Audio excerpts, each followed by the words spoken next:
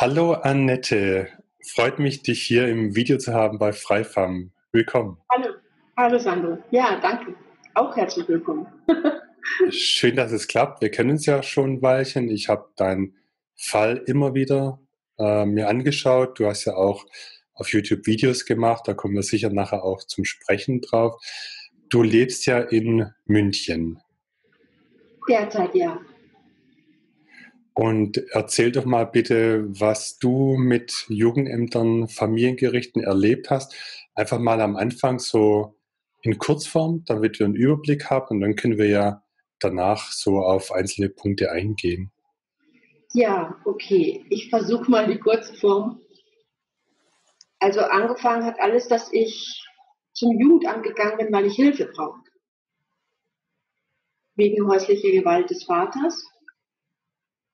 Und ich habe keine Hilfe bekommen. Stattdessen ganz was anderes. Stattdessen haben sie mir mein Kind weggenommen. Das ist jetzt die Kurzform. Okay, äh, vielleicht zwischendrin ein bisschen länger, weil also das Schema haben wir ja schon mal auch in anderen Videos gehört, ja, dass eben ja. äh, bisher waren es Mütter zum Jugendamt gehen, Hilfe suchen und dann geschieht da irgendwie was Unerwartetes und am Schluss ist das ja. Kind oder ja. die Kinder weg. Da können Sie also da den halt Zwischenteil auch noch in Kurzform erzählen. okay, das, da sind halt so viele Sachen passiert, ne? Das kann sich kein Mensch einfach vorstellen. Ne? Das ist außerhalb jeglichen Fassungs- und Vorstellungsvermögen, weil war ja auch in meinem nicht vorhanden, sozusagen. Äh, da käme ja kein Mensch drauf. Das, ich habe halt dann gegoogelt, wo kriege ich Hilfe? Dann erscheint natürlich, und natürlich als erstes fällt mir natürlich Jugendamt ein und dann steht da eben Fokus und breit, Schutz der Familie. Und wenn Sie Hilfe brauchen, eben kommen Sie zu uns, wir helfen Ihnen. Auch bei häuslicher Gewalt eben oder was eben passiert. Sie können sich vertrauensvoll an uns wenden. Habe ich dann auch getan. Jedoch hat dieser Dame da beim Amt wohl irgendwas nicht gepasst an mir. Und das hat etwas in ihr ausgelöst. Und seitdem hat sie mich, ich würde mal sagen, direkt verfolgt. Also geholfen hat mir niemand mit dem Vater. Ich habe da keine Hilfe bekommen. Und die Frau hat mich eben gefragt, ich hatte mein Kind auch dabei, damals war sie ja klein, es war 2015 und dann hat sie mich gefragt, wie ich mir die Zukunft meines Kindes vorstelle. Dann habe ich ihr das erklärt. Völlig begeistert natürlich, weil ich begeisterte Mama bin von freiem Lernen.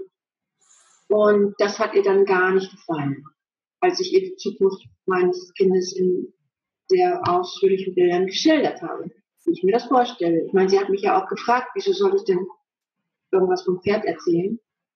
Einfach die Wahrheit gesagt. Und dann habe ich plötzlich dann noch eine Einladung bekommen. Ich sollte dann als nächstes nochmal kommen, wegen äh, mit einer Psychologin zusammenzusitzen. Und ich habe gefragt, ja, wieso? Sie wollten mir doch helfen. Äh, um was geht's denn hier jetzt? Was machen wir denn jetzt mit dem Vater? Äh, das hat nicht funktioniert. Es gab mal Treffen mit dem Vater zusammen dort, aber da ist er erstmal nicht erschienen und dann ging das irgendwie nicht weiter. Und das war's. Stattdessen habe ich noch eine Einladung bekommen, ich sollte nochmal kommen. Und ich fragte halt, wieso? Und sie meinte, ja, sie wollte eben, dass, dass ich mal von einer Psychologin angeschaut werde. Dass die eben dabei ist und mir spricht. Sie konnte mir aber nicht sagen, wieso oder weshalb. Habe ich natürlich gemacht, weil wieso sollte ich es nicht machen? Ich meine. Also es gab keinen Grund für mich nicht hinzugehen. Sage ich, ja gut, okay, komm natürlich. Wenn Sie irgendwas erfahren wollen, dann erzähle ich das. Das hat auch stattgefunden. Und das Gespräch ist wohl nicht so verlaufen, wie die Frau vom Amt das so wollte. Das hat ihr nicht gepasst. Das war damals die Frau Sophia Pfund. Sie war damals noch im Amt und war die erste Ansprechpartnerin von mir. Und das Gespräch ist nicht so ausgegangen, wie sie sich das gedacht hat, weil die Die Psychologin hat sich auch angehört, was ich eben zu sagen hatte und wie ich mein Leben, sie wollte wissen, wie mein Leben verlief und habe ihr das dann geschildert, wie es bis heute verlaufen ist und wie so es mit dem Kind läuft. Und dann habe ich über freies Lernen erzählt und berichtet und begeistert berichtet, wie ich das vorstelle, wie das funktioniert und warum ich das mache. Ja, und die Frau, die Psychologin damals war sehr begeistert. Also sie hat gesagt, ja, weil die Frau Font hatte dann gefragt, ja, und wie sehen Sie jetzt die Frau Fischer oder was sagen Sie dazu? Und dann hat sie gesagt, ja, also ich habe noch nie jemand gesehen, der so gut reflektiert war und der so seine Sachen aufgearbeitet hat, seine Kindheit und ja, sie, sie sehr gut. Sie findet, dass ich ja alles okay ist. Und dann war die Frau Pfund sehr baff. Und da konnte sie irgendwie natürlich irgendwie nichts mehr sagen. das war ersichtlich, dass sie damit nicht gerechnet hat. Ja, und dann bin ich halt, habe ich gesagt, ist jetzt, gibt es jetzt noch irgendwas zu besprechen oder dann würde ich jetzt gehen? Sagt sie, nö, die Psychologin hat gesagt, alles okay, wunderbar, ist alles okay mit ihr Kind auch, alles gut. Sie machen das prima, weiter so. Und Frau Pfund hat nichts mehr gesagt. Und dann bin ich halt gegangen und habe darauf gewartet, dass irgendwie es weitergeht mit der Hilfe. War kein mehr. Und dann wurde ja meine Tochter älter.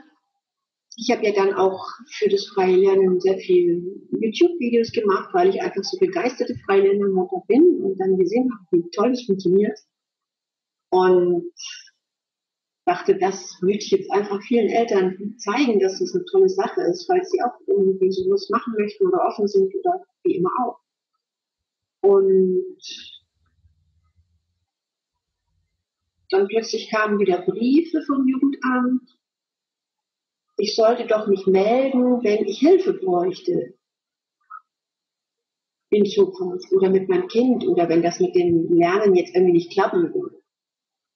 Und dann habe ich geantwortet, der Frau Pfund damals noch, danke, vielen Dank, ja, ich melde mich, wenn ich Hilfe brauche oder bräuchte in der Hinsicht. Jetzt ist alles okay. Ich hätte ja Hilfe bei dem Vater gebraucht. Ja gut, da kam dann nichts mehr. Und dann hat das so seine Kreise gezogen. Hm, ich war dann natürlich in der Öffentlichkeit, ich halte viele Vorträge darüber, und so sind auch viele Menschen auf mich aufmerksam geworden, auch in der Schule. Es kam dann eben dazu, dass es ist, okay, jetzt muss dann das Kind angeschaut werden vom Arzt, ob es schulfähig ist und so. Habe ich alles gemacht. Ja klar, ich war ja noch in Deutschland. Es wurde Schulfähigkeit bescheinigt vom Arzt, vom Schulamt. Und dann bin ich eben in Schulen gegangen, um mich zu informieren. Was ist denn jetzt hier alles möglich?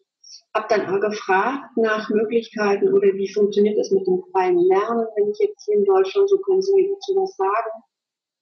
Dann bin ich auf ja, äh, Menschen gestoßen, Direktoren gestoßen und Direktorinnen, die mich nur angeguckt haben und gar nicht wussten, von was ich spreche. Und gesagt, ja, Sie müssten sich auch selbst informieren. Habe ich gesagt, ja, tun Sie das doch bitte und nehmen Sie den Kontakt mit mir auf. Ich freue mich, wenn ich darüber mehr erfahre und so wie funktioniert das in Deutschland oder wo muss ich hin oder kann ich überhaupt hier bleiben? Die wussten gar nicht Bescheid, die wussten auch gar nicht, von was ich spreche. Hat sich auch nie einer mehr gemeldet. Und ja, dann kam, dann kam die Zeit, wo die Einschulung kam. Dann kriegen wir ja so einen Brief. Ihr Kind wird es demnächst eingeschult ein bisschen vorher oder so. Und ich habe dann zurückgeschrieben, der Direktorin in der Springerschule, vielen Dank für die Einladung, aber mein Kind kommt nicht in die Schule, weil wir Freilerner sind und wir dann nicht in Deutschland sind. Habe ich alles erklärt und falls sie noch Fragen hätte, könnte sie mir schreiben. Natürlich jederzeit stehe ich zur Verfügung, ich kann auch kommen. Oder ich geben Sie mir doch einfach bitte einen persönlichen Termin, dann können wir es auch ganz persönlich besprechen. Dann kam keine Antwort. Und dann dachte ich natürlich, okay, soweit ist alles geklärt. Dann äh, 15. September, Einschulung. Meine Tochter war natürlich nicht bei der Einschulung. Ich hatte es ja auch schon angekündigt. Und am 15. direkt ähm, gleich am Nachmittag kam dann ein sehr bitterböser Brief von der Direktorin der Sprengelschule, der Frau Bogdan, dass sie ähm, erbost darüber ist, dass das Kind jetzt nicht gekommen wäre, obwohl es in die Schule muss und hat mir gleich gedroht mit dem Jugendamt. Ich äh, zurückgeschrieben, das ist hier, glaube ich, ein Missverständnis. Ich hatte Ihnen doch geschrieben, Sie haben sich nicht mehr gemeldet. Jetzt schicken Sie mir sowas, bitte rufen Sie mich an. Wir machen gerne sofort einen Termin aus. Es kam nichts. Am nächsten Tag, am 16. September, war dann das gleiche wieder nur in verschärfter Form. Also sie hat nicht reagiert auf meine Schreiben oder irgendwas oder auf, dass ich in Kontakt bitte. Und hat dann noch drastischer geschrieben, das Kind war den zweiten Tag nicht in der Schule, sie sind zur Schule verpflichtet. Jetzt gehe ich zur Polizei und zu Und mein Kind war ja da schon abgemeldet und war ganz offensichtlich, dass das so irgendwie irgendwo schiefgelaufen ist in der Kommunikationsfläche. Und hat gesagt, ja, was wollen Sie denn jetzt von mir? Ich habe doch alles dargelegt. Und ähm, plötzlich hat das angefangen, weite Kreise zu ziehen. Frau Bogdan hat sich ans Jugendamt gewandt. Dort war ich ja schon sichtbar, sozusagen. Dadurch, dass die Frau Vogt ja schon gesagt hat, ich bin ja schon so irgendwie ein Fall. Anscheinend war ich schon ein Fall, weil ich ja damals aufgefallen bin. Und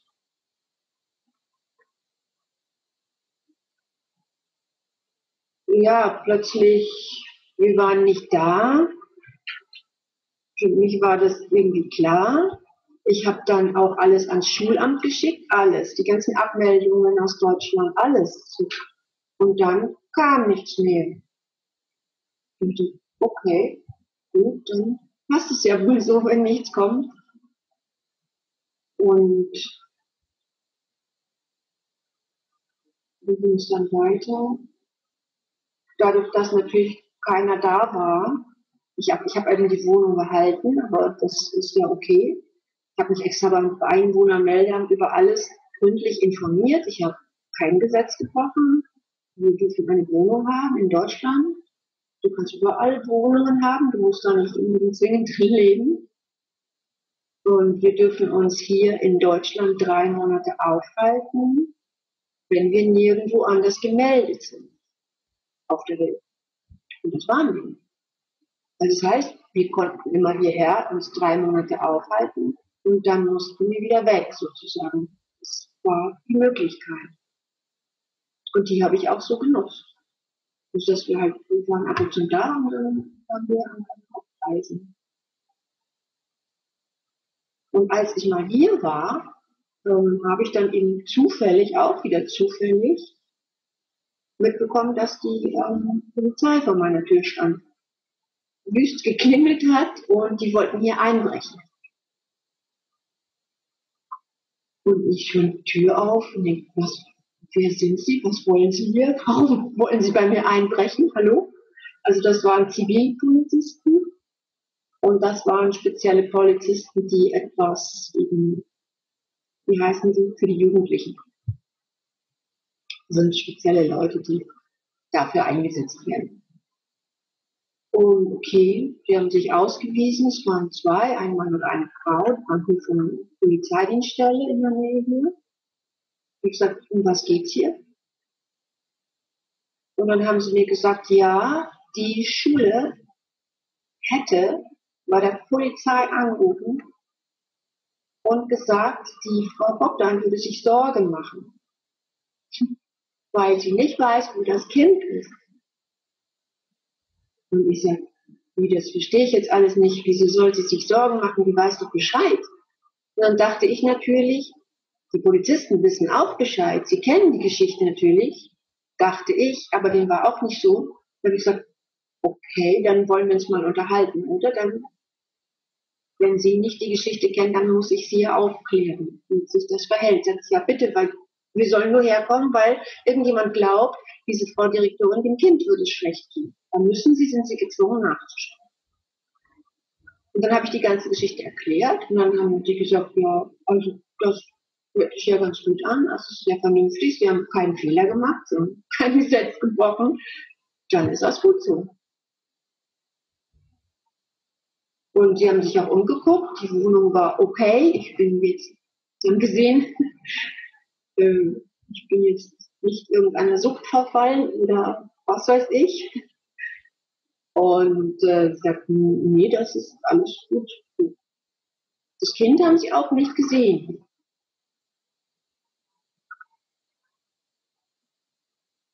Dann habe ich gesagt, bitte, wie geht's denn jetzt weiter? Da, weil das ist mir alles komisch hier. Wie, wie muss ich mich verhalten? Bitte helfen Sie mir. Ich habe wieder um Hilfe gefragt, ich verstehe das auch alles nicht. Dann hat er mir so eine Karte gegeben und hat gesagt, okay, Sie können sich jederzeit an uns wenden. Und am besten empfehlen wir Ihnen jetzt, Sie gehen jetzt sofort zu dieser Frau Bogdan in die Schule und klären das. Und wir geben das auch weiter, dass alles okay ist. Dann sage ich, prima, mache ich. Ich gehe jetzt sofort hin. Ja, genau. Jetzt sind Sie da, jetzt können Sie das klären. Und sofort gemacht, also sofort die Tür zugemacht zur Schule. Die ist hier bei mir gleich um die Ecke. Und sie war tatsächlich da. Also ich war sehr froh, weil, ah, jetzt weiß ich mal, wer ist das und super, dann können wir das endlich mal besprechen. Kommunikation ist da, alles gut. Sie kann sich erklären, sie kann sich erklären, dann können Fehler behoben werden. Ja, sie war super überrascht und sie wusste sofort, wer ich bin. und ich sagte, ja, ich war Hallo, Frau Doktor, sehr schön, dass wir uns jetzt kennenlernen. Können wir uns austauschen? Die Polizei bei mir. Um was geht's denn jetzt hier? Und dann hat sie immer noch steif und fest behauptet, das Kind müsste in die Schule gehen. Ja, und ich war da und sagte, ja, hatten Sie meinen Brief nicht erhalten? Ich habe ihn doch mehrmals mit Ihnen kontaktiert, Sie haben sich ja nie gemeldet. Darauf ist nie eingegangen worden. Nicht ja oder nicht nein, gar nichts. Und dann ist sie steif und fest, hat sie darauf beharrt, dass das Kind in die Schule gehen muss. Und dann habe ich ihr nochmal die ganze Situation erklärt und irgendwie, ich habe es dreimal erklärt, dasselbe. Das ist irgendwie anscheinend nicht angekommen oder will nicht ankommen oder wird nicht angenommen. Ich muss davon ausgehen, dass sie es nicht hören wollte, weil ich spreche ja nicht generisch. Ich spreche sehr klar und deutlich und erzähle so und so, was ist da passiert, kann sie mir weiterhelfen. Und dann ist sie irgendwann, hat sie gemerkt, dass ich dabei bleibe, weil sie wollte mich davon überzeugen, dass es doch besser wäre für mein Kind. Und das kann ja nicht sein. Das Kind ist ja, das bleibt ja dumm. Das kann auch nicht lesen, schreiben, rechnen. Dann habe ich ihm nochmal erklärt, wie das funktioniert, weil sie hat anscheinend sich da nicht informiert drüber und auch keine Ahnung, dass es das gibt. Und für sie steht fest, nur Schule, sonst gibt's nichts, sonst bleibt das Kind einfach dumm. Und dem muss sie Abhilfe schaffen. Ja, und dann wurde sie etwas lauter und hat wieder mehr angefangen zu drohen. Und dann habe ich gemerkt, irgendwann nach Stunde, okay, sie wollen nicht mit mir sprechen, sie hören mir nicht zu, weiß nicht, was ihr Problem ist jetzt letztendlich. Nur gibt es hier einfach keine richtige Kommunikation. Wie soll das weitergehen jetzt? Wie stellen Sie sich das vor? Ja, nichts. Äh, sie wird zum Jugendamt gehen, sie wird einfach alles tun, um dieses Kind in die Schule zu bringen. Wenn ich nicht dazu imstande bin. Dann habe ich eingesehen, okay, ja, da könnte ich jetzt noch Tage sitzen und sie würden mir wahrscheinlich immer noch das Gleiche sagen. Dann ich, bin ich gegangen. Außerdem war es mir einfach dann zu viel, mich dauernd bedrohen zu lassen. Ne? Von allen Ecken und Enden kam einfach eine Drohung. Das macht ja irgendwie keinen Sinn, so kriegen wir keine Lösung hin.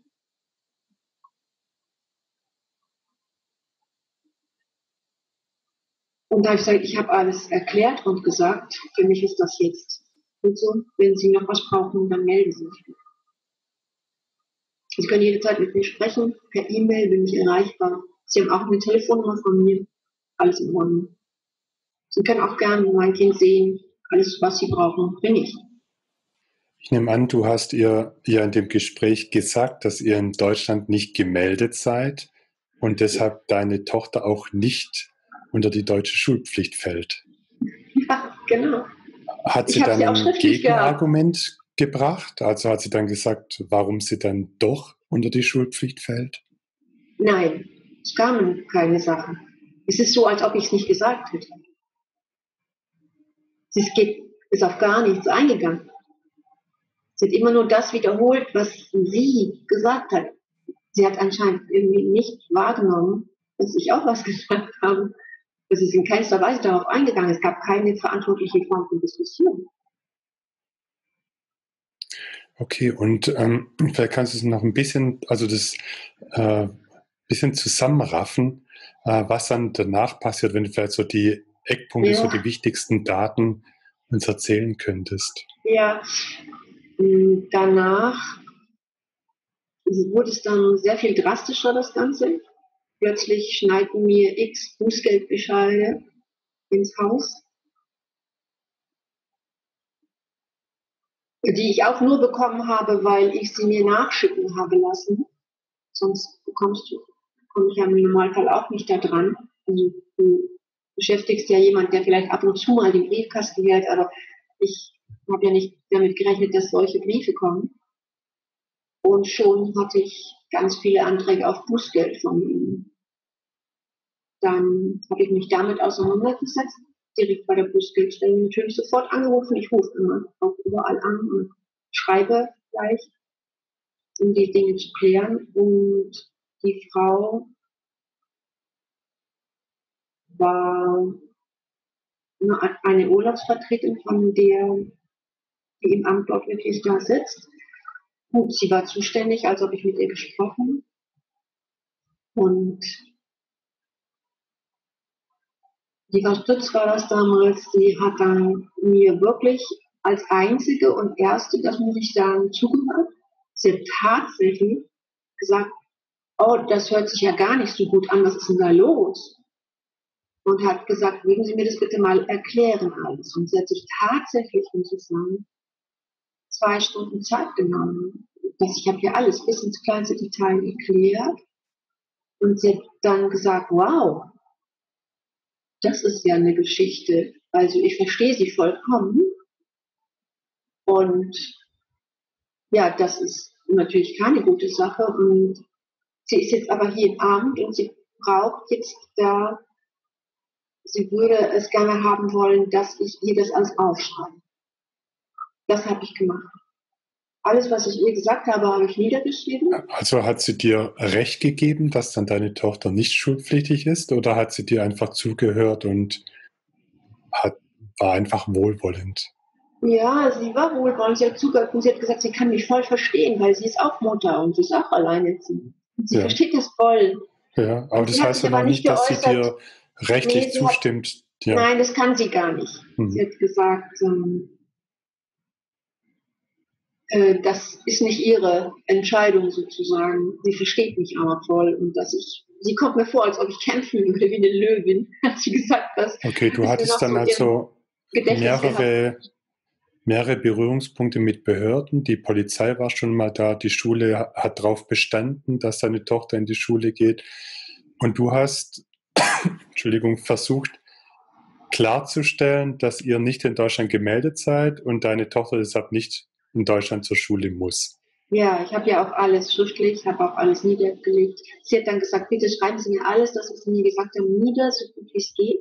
Ja. Ihre Beweggründe, warum Sie das tun, habe ich gemacht. Ich habe 30 Seiten geschrieben und habe dann zum Schluss geschrieben, ähm, okay, da ich jetzt in Deutschland keine Schule gefunden habe, werde ich jetzt wieder fahren, und zwar nach Österreich, dann später in die Schweiz und dann Neuseeland.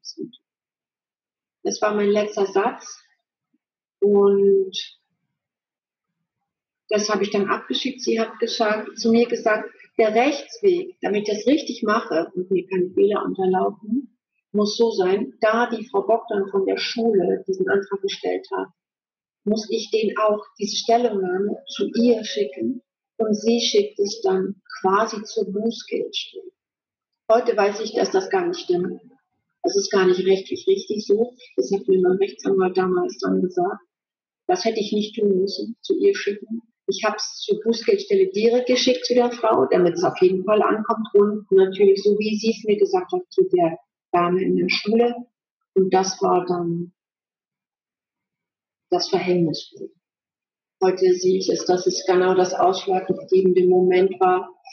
Das war am 31.05.2017. Wie alt war deine Tochter da? Neun. Neun. Mhm. Ja. Die hätte also schon drei Jahre lang in der Schule sein sollen. Ja. War sie aber nicht. Nein. Hm. Wir haben Schulen gesucht, aber nicht gefunden. Sie kamen nicht mit einem Freilernerkind zurecht. Das war dann nicht so einfach mit so einem Kind ist. So ein Kind lernt ja völlig anders. Wir haben das aber probiert. Wir wollten ja einfach zu Hause klar bleiben. Und wir hatten dann schon zwar eine Schule gefunden, die Sudbury School, aber die wurde dann, sie war auch schon angemeldet, genau 2017 hätte sie dort hingehen sollen. Und die wurde dann ja vom bayerischen Staat verhindert die wurde wieder abgeschafft. Die waren ja zwei Jahre schon in der Probezeit am Ammersee.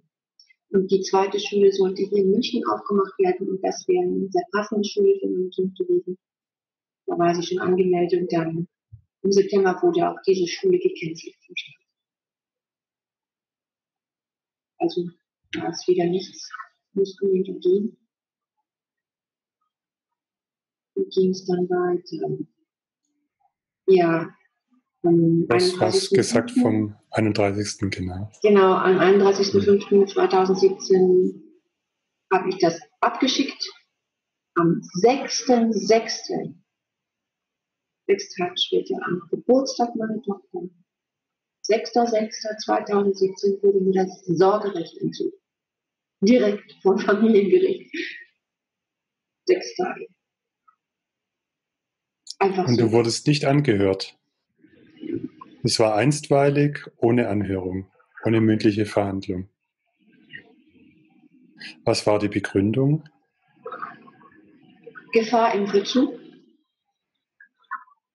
Das Kindeswohl ist gefährdet, weil ich das Kind der Schule vorenthalte. Das war der Hauptgrund. Und ist im Beschluss auf irgendwas eingegangen, was du ja da auch damals geschrieben hast auf den 30 Seiten? Nein, gar nicht. Bis heute nicht. Hm. Dann waren die 30 Seiten vielleicht eher einfach so was von der Behörde, um dem Richter zu zeigen, diese Frau ist völlig uneinsichtig. Anscheinend. Und äh, sie hat sich darauf gestützt, diese Frau Fund hat das eingereicht, hat hat das direkt wohl ein Bericht zum Familiengericht geschrieben in Besprechung auch mit dem Herrn Werner, mit dem Teamleiter des Jugendamtes München. Und es kam am,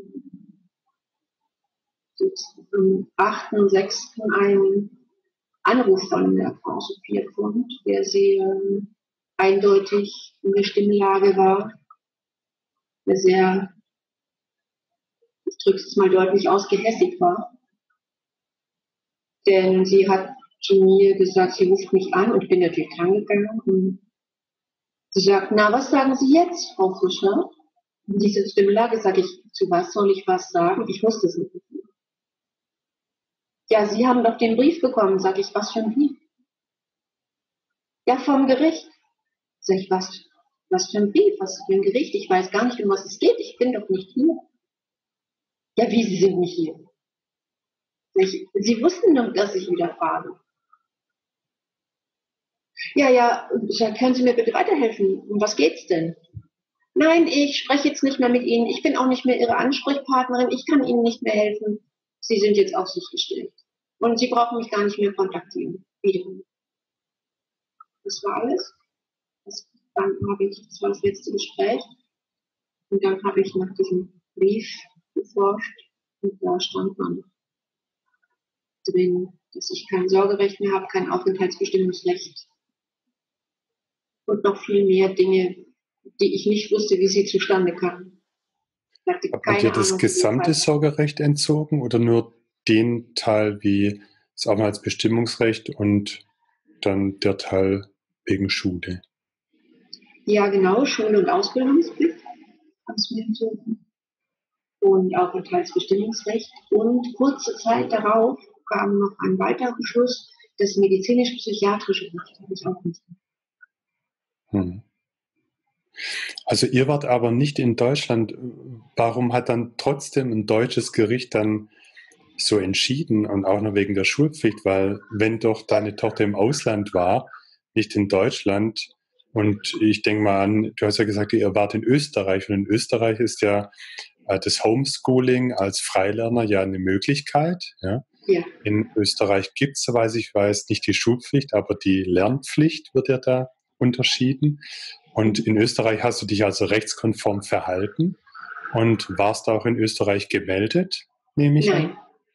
Nein, Nein, noch nicht. Es war erst, die folgte ja Schlag auf Schlag alles. Ah. Also die wussten bei der Behörde, dass du nach Österreich willst und haben quasi kurz bevor du offiziell in Österreich gewesen wärst, durch die Anmeldung, haben die sozusagen eine Eil, einen Eilbeschluss gemacht, um deine Tochter dem deutschen Schulsystem zuzuführen. Ja. Und äh, indem sie dir das ABR, also das Aufenthaltsbestimmungsrecht entzogen haben, hättest du ja deine Tochter eigentlich nicht mehr in Österreich haben dürfen, wenn wurde es auf das Jugendamt übertragen, nehme ich an, das ABR. Oder auf den Vormund. Ja, es gibt ja dann eine Ergänzungspflegerin, die bestellt wird. Okay. Und die hätte dann bestimmen können, dass deine Tochter nach Deutschland muss. Die hat dann alle Rechte, die mir entzogen. Okay, das heißt, ab dem Punkt warst du quasi illegal mit deiner Tochter in Österreich. Wenn die gesagt hätten, die muss hierher, dann wäre das quasi eine Kindesentführung gewesen, weil du eben nicht über den Aufenthaltsort deiner Tochter mehr bestimmen darfst, sondern diese Ergänzungspflegerin. Ja, nur ich war ja schon da. Also mhm. da kam es ja dann auch zu Konflikten. Äh, wieso ähm, hat sich denn das, das war das ähm, Amtsgericht in München, nehme ich an. Ja. Warum haben die sich zuständig gefühlt? Mit welcher Begründung? Ja, die haben ja so getan, als ob mein ständiger Aufenthaltsort München wäre. Die haben das, dass ich auf Reisen bin oder das alles, was ist, haben die nicht akzeptiert, auch meine Abmeldungen. Die okay, so im getan, Gerichtsbeschluss. Okay, im Gerichtsbeschluss stand drin, Annette F., wohnhaft in München und dann die ja. Straße. Ja. ja. Aha.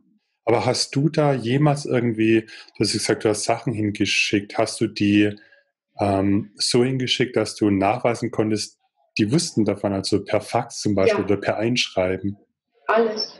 Die wussten alles. Ich habe alles hingeschickt. Und äh, weißt du heute im Nachhinein, ob das Gericht recht hatte oder nicht? Also gibt es noch irgendwas Rechtliches, wo die zum Beispiel, wenn jetzt du und deine Tochter nirgends gemeldet seid, dass ihr dann automatisch, dass man euch behandelt, als wärt ihr in Deutschland gemeldet? Gibt es da ein Recht? Ja, also das Einwohnermeldeamt hat mir da geholfen. Die sind da sehr hilfreich. Die haben mir das auch schriftlich gegeben. Es gibt einen Paragraphen, der aussagt im Einwohnermeldegesetz sozusagen eben, dass ich, wenn ich nirgendwo gemeldet bin, einfach mich in Deutschland ja aufhalten darf, ohne dass ich mich anmelden muss. Das war der springende Punkt für diese drei Monate. Und da wir nirgendwo mit der Schulpflicht? Ja, da greift auch keine Schulpflicht, weil wir waren ja nicht gemeldet, auch wenn wir mal kurzfristig hier waren. Also die Schulpflicht, die ist davon abhängig, wo das Kind gemeldet ist. Genau. Ja, also wenn das Kind in Hamburg gemeldet ist, geht es natürlich in Hamburg zur Schule. Wenn es in München gemeldet ist, in München. Und wenn es in Österreich Dann gemeldet halt gewesen wäre. Ja. Okay, aber gibt es irgendwie was, zum Beispiel, dass äh, wenn das Kind ein deutscher Staatsbürger ist, aber nirgends wohnhaft ist, dass dann das deutsche Gesetz anzuwenden ist und das Kind automatisch die Schulpflicht dann? Nein, das gibt es nicht. Das gibt, es gibt kein Gesetz. Hm.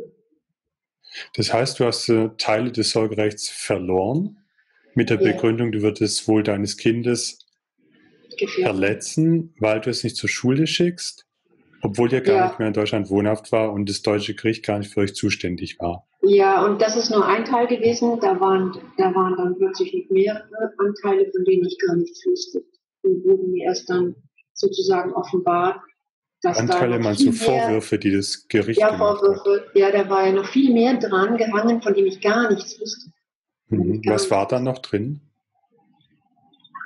Hm, ich habe ja zwischendrin immer Schulen gesucht hier für mein Kind. Und diese Schulen haben sich anscheinend auch an das Jugendamt gewandt. Das ist das, was ich jetzt weiß. Sie haben auch gesagt, ähm, mit dem Kind stimme irgendwas nicht, die Frau ist komisch, sozusagen komische Ansichten, nur weil sie mit dem Kind nicht zurechtkam und das Kind halt das Ding offenbar gespiegelt und gezeigt hat. Das wollten sie halt nicht hören. Und dann habe ich halt das gesagt, was meine Meinung war, das wollten sie auch nicht hören. Und dann haben sie uns rausgeschmissen, sozusagen. Also wir wurden auch entfernt von den Schulen. Wollten das alles nicht. Sie wollten mir auch nicht zuhören, was ich dazu zu sagen habe wie ich die Dinge sehe. Es gab da keine Grundlagen für Diskussionen auch, Möglichkeiten für Öffnungen, auch an den Schulen nicht. Und heute weiß ich, dass die auch sich ans Jugendamt gewandt haben. Also es sind schon einige Leute gewesen, die entscheiden. Ja, hm. War das hauptsächlich, weil die einen übereinstimmenden Eindruck von deiner Tochter hatten, dass die gesagt haben, die sei verwahrlost oder die hätte äh, Umgangspro also Probleme im Umgang mit Menschen oder? Ja, also die Sache ist die, dass mein Kind ja ein, ein Spektrum hat eines Autismus. Und dass ich, ich persönlich wusste das aber gar nicht. Das hat sich erst jetzt rauskristallisiert sozusagen, weil, weil die so ein Terz darum gemacht haben. Für mich war mein Kind immer okay. Und gerade das freie Lernen hat sie dazu befähigt, diesen Autismus in etwas anderes zu verwandeln, nämlich in Hochbegabung. Und das hat anscheinend so den Leuten irgendwie nicht so gepasst, dass das so verlief, diese Entwicklung, von der ich ja das auch gar nicht wusste. Und gut, sie hat sich halt anders verhalten als andere Kinder, aber für mich war das okay. Sie hat halt einfach ihre Zeit gehabt, sie hat halt Zeit gebraucht und autistische Kinder brauchen, die sind nicht so, dass sie sofort spontan sich öffnen und mit jedem reden, sondern sie halten sich sehr zurück, hm. zum Beispiel. Und, und deine Tochter, die ist ja jetzt in der Schule, nehme ich an. Ja, sie wurde in die Schule gezwungen. Äh, in einer staatlichen Schule. Ja, wirklich. Und äh, ist sie gut in der Schule? Geht es ihr gut dort? Also ich darf ja nicht mit ihr sprechen, deswegen kann ich dazu jetzt kein Also du siehst auch keine Schulzeugnisse, du weißt es gar nicht. Nein, ich weiß gar nichts. Okay. Also was ich weiß, ist, gesprungen. dass sie, ja. was mir mitgeteilt wurde am Anfang, ist, dass halt eben auch diese Schule nicht mit ihr zurechtkam. Was für mich ganz logisch ist nach neun Jahren ja. Freilernertum. Ja, deshalb frage ich. Das ja. Gehirn lernt vollständig anders. Also diese Gehirne sind anders, hm. sind offen und frei lernen, sind Freigeister und lernen ganz anders. Es ist klar, dass sie sich schwer tut da erstens mhm. mal so still zu sitzen in der Schule, das ist ganz schwierig für sie natürlich. Und sie wollten sie in eine Förderschule tun, weil sie mit ihr nicht zurechtkam. Also sie ist hochbegabt und sie wollten sie in die Förderschule tun. Und dann haben sie doch noch gesagt, naja gut, dann ziehen wir sie ja mit, so ungefähr. Aber sie ist halt immer, damals wusste ich noch, dass sie eher bei den Schlechteren ist. Und das wurde auch wieder alles auf mich gemünzt. Also ich hätte Schuld daran, dass das Kind jetzt so schlecht in der Schule ist. Da können wir wieder erkennen, dass die Mutter schlecht ist für das Kind. Und das haben sie damals, ähm, nachdem das Kind in Obhut genommen wurde, am 13.07. am Gerichtstermin, ohne mein Wissen und ohne das Wissen des Kindes, ähm, wo bin ich dann sofort am nächsten Tag zum Oberlandesgericht gegangen, habe dort 70 Seiten abgeliefert. Und dann kam nach zwei Wochen, das war so, da war sie dann zwei Wochen quasi schon in der Schule. Sie wurde ins Kinderheim getan. Ich wusste nicht, wo sie war. Sie haben sie vier Tage nach der Wegnahme von mir einfach in eine normale Schule gesteckt, da wo das Kinderheim ist. Dann waren die Schulferien, fingen nach zwei Wochen an und die Kinder, die ganz normalen Schulkinder bekamen halt ihre Schulabschlusszeugnisse, Jahresabschlusszeugnisse. Dann hat mir das Oberlandesgericht ein Schul Grundschulzeugnis meiner Tochter gesendet, worauf natürlich irgendwie nicht viel stand. Sie war ja noch nie in der Schule. Sie war auch zwei Wochen nach dieser Traumatisierung in der Schule und da stand natürlich kaum was drauf. Und das haben sie dann als Beweismittel genommen, dass ich kindeswohlgefährdend bin. Dieses Zeugnis dort zeigt ganz deutlich, dass ich was falsch gemacht habe. Jetzt sind wir ein bisschen Beweis, gesprungen. Das heißt, mhm. ihr wart ja noch in Österreich und dann ja. wurde deine Tochter, wann war das nochmal? Wann wurde die in Obhut genommen? Also am 6.6.2017 wurde sie wurde mir das Sorgerecht entzogen. Am ja. 13.7. wurde sie weggenommen. Okay, quasi ein bisschen über einen Monat später. Aber ihr wart doch in, Öster, in Österreich. Haben die dann äh, in Österreich dir die Tochter weggenommen oder wie haben die das gemacht? Ja, zweimal weggenommen. Zweimal traumatisiert. Mhm. Das heißt, die deutsche Polizei kam nach Österreich oder die österreichische Nein. Polizei hat Amtshilfe gemacht? Nein, das ist, war sehr trickreich. Ich sollte dann also, ich habe dann gesehen, was mir vorgeworfen wurde. Und da spielte auch noch ganz stark hinein, dass plötzlich der Vater ins Spiel kam, von dem ich nichts wusste. Der hat sich ja neun Jahre nicht gemeldet, hat sich nicht gekümmert um das Kind. Und plötzlich kam ein riesen Brief, dass der Vater, dass der Vater über uns erzählt. Also der kannte das Kind ja so gut wie gar nicht. Und mich auch nicht wirklich. Der war ja nicht da und hat sich auch gegen uns ausgesprochen und hat sehr viele Sachen erzählt, die nicht der Wahrheit entsprachen. Weil er hat das Kind auch nicht verstanden, kann er ja auch irgendwie nicht. Und wenn dann ein Kind noch autistisch ist und hochbegabt, dann ist es sowieso schwierig, wenn der Vater nicht anwesend ist. Und hat aber, den haben sie ins Boot geholt, der hat plötzlich einen Antrag auf Sorgerecht gestellt. Haben die alles, das war eine Inszenierung, das sollte wohl so sein, dass da noch eine Person mit ins Spiel kommt, die auch schlecht über mich redet, die schlecht über mein Kind redet. So wurde mir auch noch Verwahrlosung vorgeworfen, wobei, wobei mir dann auch noch eben dieses medizinisch-psychiatrische, äh, dieser Anteil des Sorgerechts verwehrt wurde, aufgrund dessen, auf den Aussagen des Vaters. Das war noch erschwerend hinzugekommen, von dem wusste ich ja alles nichts. Das habe ich ja erst in diesem Brief gesehen. Und ich war ja nicht da und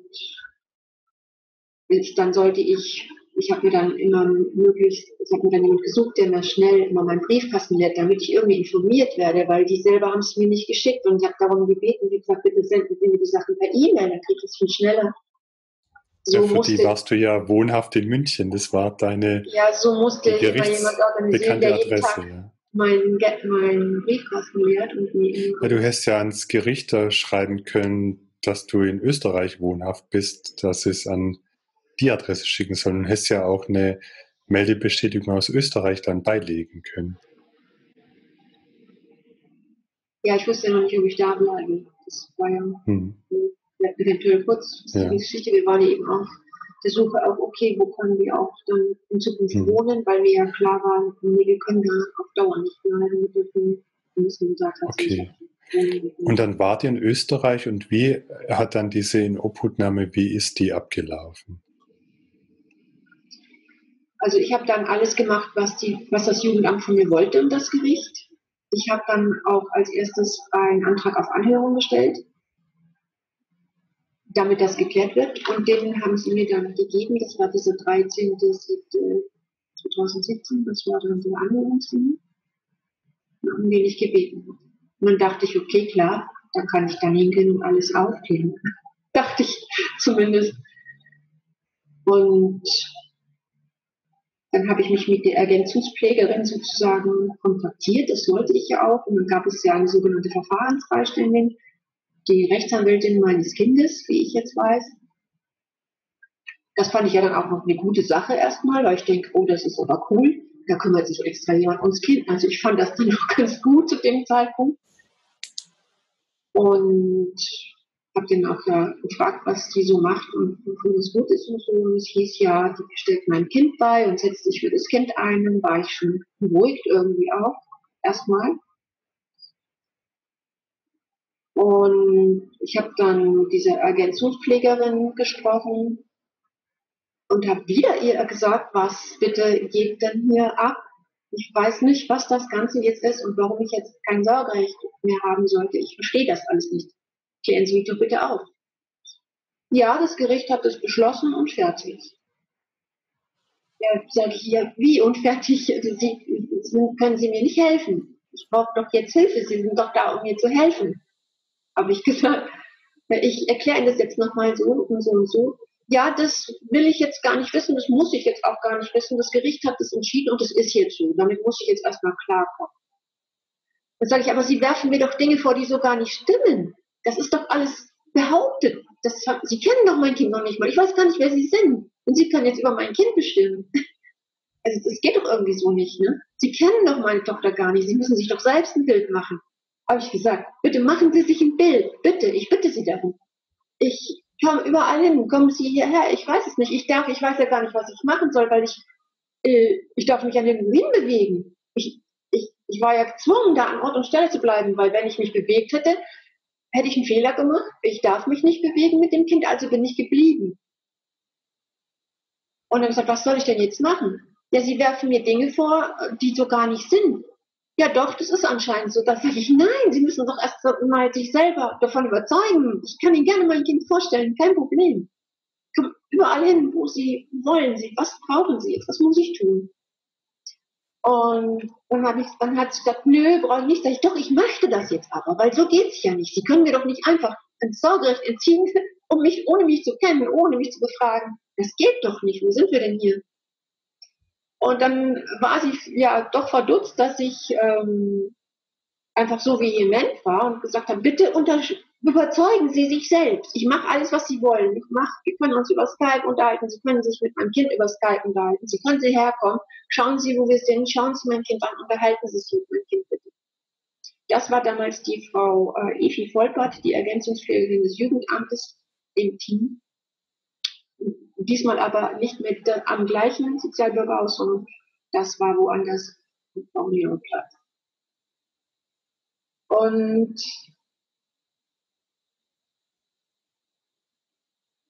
dann habe ich gesagt, ich bitte Sie, ich hole jetzt mein Kind und sprechen Sie mit ihm. Ich bitte Sie, unterhalten Sie sich selbst mit ihr, stellen Sie ihr alle Fragen, die Sie möchten. Ja? Das war es da in, an diesem Gerichtstermin, wo die Verhandlung war. Nee, das war äh, erstmal per Telefon. Am Telefon. Also erstmal mit der Frau Kontakt aufgenommen Okay. Habe. Das war noch aber die Ergänzungspflegerin, die kann ja da auch nichts machen. Ja, klar, die kann einen Eindruck gewinnen, aber die kann ja dann nicht vor Gericht äh, einen, Nein, einen Antrag machen. Das kann die Verfahrensbeiständin. Ja, also dann, ich, ich, dann bist du also, nehme ich an, nach Deutschland zu diesem Gerichtstermin gefahren mit deiner Tochter. Ja. Um, um in der Verhandlung das, das, Ganze zu klären. Ja, um nochmal kurz das zu Ende zu erzählen. Sie ließ sich überreden, mit meiner Tochter zu sprechen. Aber sie hat gar nichts gefragt. Sie hat nur die Sachen gefragt, die sie von mir wusste dass sie gerne mit Tieren zusammen ist, dass sie gerne in der Natur ist, was sie gerne macht, dass sie gerne tanzt. Und das hat, und die Lea hat nur gesagt, ja, ja, mache ich gerne, ja, mache ich gerne. Sonst noch was? Und hat sie nichts mehr gesagt. Das war das ganze Gespräch mit meinem Kind. So, okay. Und dann ging es so weiter, ähm, dass sie wissen wollte, ob ich zu dem Termin komme. Ich sagte, natürlich komme ich zu dem Termin. Wieso nicht? Dafür habe ich ihn ja. Ich habe ja auch darum gebeten ist ja auch mein gutes Recht. Ich muss ja irgendwie mal was sagen können und meine Meinung dazu äußern, wie ich dazu stehe. Bis jetzt hat mich ja keiner gefragt. Das ist ja alles nur behauptet und ich bin nicht gehört worden. Ja gut, Das wollte ich nur wissen. Ja, Sie werden weiterhin Bescheid bekommen von uns, wie es weitergeht, sage ich. Okay, was mache ich jetzt? Ja, Sie kommen dann zum 13.7. oder ich melde mich auch wieder bei Ihnen. Sage ich, okay, dann warte ich jetzt wohl, oder was? Weil ich darf ja das Kind nicht bewegen, sehe ich das richtig? Ich darf das Kind nirgendwo hinbringen. Nee, dürfen Sie nicht. Okay, ja. Und wie mache ich das dann hier? Weil ich muss mich ja dann hier melden, wenn ich länger als drei Tage bin. Nichts gesagt, aufgelegt. Also in Deutschland melden. Ich müsste, hätte mich ja in Österreich anmelden müssen. Das war ja auch total verzwickt. Ich, ich stand ja mitten, dachte ich, ja, wo soll ich mich denn jetzt melden? Ich, ich muss, ich darf mich nicht bewegen, ich darf nicht aus Österreich wegfahren, aber ich darf mich auch nicht anmelden. Ja, jetzt bin ich in der Grauzone, dann kriege ich Ärger mit Österreich. Wieso durfst du aus Österreich nicht wegfahren? Ich darf ja das Kind nicht bewegen, laut Deutsche nicht. Er hatte ja verboten, den Aufenthaltsbestimmungsort des Kindes zu bestimmen. Ich durfte hier. Ach so, nee, mit dem AB, wenn dir das ABR entzogen ist, darf ich hier nicht bewegen. Ja, die Ergänzungspflegerin kann ja dann sagen, ist okay, wenn die Tochter bei Ihnen ist, ja. Aber solange die nichts sagt, kannst du mit deiner Tochter ja, hingehen, wo machen. du willst eigentlich. Ich, ja, aber ich war unbedinglich, weil es, ich habe mich ja an dieses, diesen Beschluss gehalten. Ich wollte ja nicht gegen diesen Beschluss verstoßen. Erstmal. Okay, und dann bist du also nach Deutschland gefahren zu dem Termin? Nein, vorher sind noch andere Dinge passiert. Hier sind die Topsuppen. Hm. Vorher sind noch andere Dinge passiert. Der Richter Könntest du die bitte kurz zusammenfassen, weil wir haben jetzt eine Stunde schon geredet über ja. den Fortlauf. Also ähm, jetzt wäre es gut, wenn du vielleicht in fünf Minuten das noch erzählen könntest, wie das alles abgelaufen ist, okay. ähm, also damit wir dann vielleicht noch uns die Aspekte einzeln anschauen können. Ja, wie gesagt, es wurde dann eben sehr viel alles auf einmal. Ich bekam vier Anrufe von dem Herrn Richter Meixner aus München, der diesen Beschluss gefasst hat. Ich war sehr froh, auch dachte ich wieder, das ist ja toll, dass er mich anruft falsch gedacht. Er wollte einfach nur wissen, ob ich tatsächlich komme. Dann sage ich, ja, aber schön, dass Sie mich anrufen, jetzt kann ich mit Ihnen sprechen, oder? Dann sagt er, nein, ich will nur wissen, ob Sie tatsächlich kommen. Dann sage ich, ja, aber äh, können Sie mir jetzt nicht helfen? Sie rufen mich doch jetzt an. Warum rufen Sie mich dann dann an? Ich verstehe das alles nicht. Dann könnte ich doch jetzt mit Ihnen sprechen, das ist doch super. Dann können wir das jetzt gleich klären. nee, dann sage ich, ja, warum wollen Sie mich denn anrufen? Ich will nur wissen, ob Sie kommen. Und sage ich, ja, hab doch schon gesagt, ja, natürlich, warum sollte ich nicht kommen? Ich verstehe ja, Ihre er Frage. Er darf sich mit dir ja auch nicht über die Sache unterhalten. Er muss ja als Richter unparteiisch bleiben. Ja, okay, ich wollte nur wissen, ja, warum rufen Sie mich denn an? Ich verstehe das alles nicht. Ja, wollte nur wissen, ob ich auf jeden Fall komme. Sag ich, natürlich komme ich. Ja klar, das ist doch eine Chance für mich. Ich muss doch das aufklären. Ja gut. Des Weiteren müssen Sie sich mit der Ergänzungspflegerin Frau Vollwald weiter unterhalten. Okay, ähm, das war dann später, dann ähm, kurze Zeit darauf, das ging alles innerhalb von einer Woche dann. Am Freitag desselben Tages, also am Mittwoch hat der Richter zum letzten Mal mit mir gesprochen, am Freitag derselben Woche, 23.06.2017, klingelt es an der Tür die Polizei, die österreichische Polizei steht vor der Tür. Zwei Personen. Sie sagen, ja, wohnt hier eine Frau Fischer? Ich sage, ja, das bin ich. Was kann ich für Sie tun? Ja, das deutsche Jugendamt hat sich gemeldet. Wir müssten die was überprüfen. Die, das deutsche Jugendamt behauptet, das Kindeswohl wäre gefährdet und wir müssten das überprüfen und mit ihnen sprechen und auch das Kind sehen. Sage ich, ja, alles gut, kommen Sie rein kein Thema. Ich hol das Kind. Ja, erzählen Sie mal, was passiert ist. Habe ich alles erzählt. Dann haben die gesagt, ja, alles in Ordnung. Also Sie sind okay. Die haben das Kind angeschaut. Ja, glückliches Kind. Weder verwahrlost noch sonst irgendwas. Alles okay. Prima, hätten wir das endlich geklärt, dass das jemand ausspricht und gesehen hat. Ich bin sehr froh.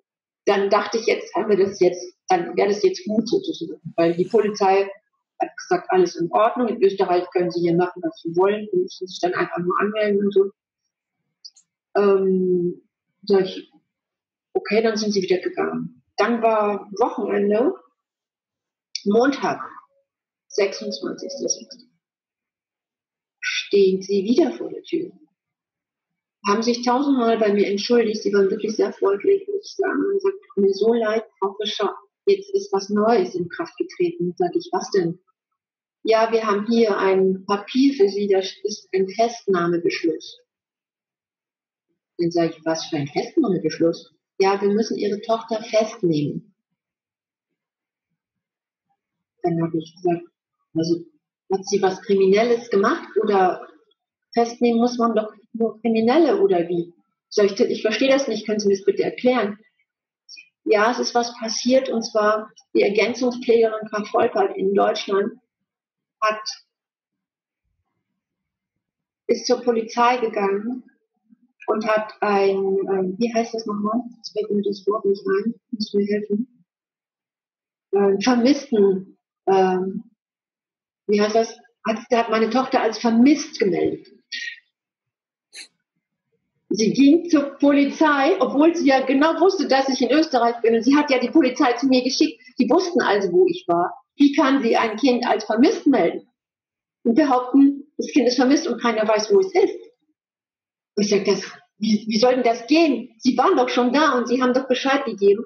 Also die Polizisten haben mir immer am Freitag vorher gesagt, okay, wir geben Bescheid und das ist dann alles okay. Sag, prima, sagen Sie das Bescheid. Ich warte dann so. Naja, dann kam diese Sache, dass meine Tochter als vermisst galt. Und dann sind sie, sie sagen, sie sind jetzt leider gezwungen. Und jetzt wird sich die Jugendhilfe, so heißt das Jugendamt in Österreich, einschalten. Die kommen dann auch noch. Ich habe dann, es war morgens um neun, ich habe dann gesagt, Moment bitte, weil es langsam, ich spreche mit dem Rechtsanwalt jetzt. Bitte warten Sie. Wir haben dann einen Tag lang versucht, tatsächlich, die Jugendhilfe in Österreich auch, hat versucht, uns zu helfen. Wirklich. Die Polizisten waren einen ganzen Tag lang da. Sie haben alles getan. Sie haben gesagt, Jugendhilfe hat gesagt, die waren wirklich nett, die gesagt, sowas haben sie noch nie erlebt. Das ist ja fürchterlich.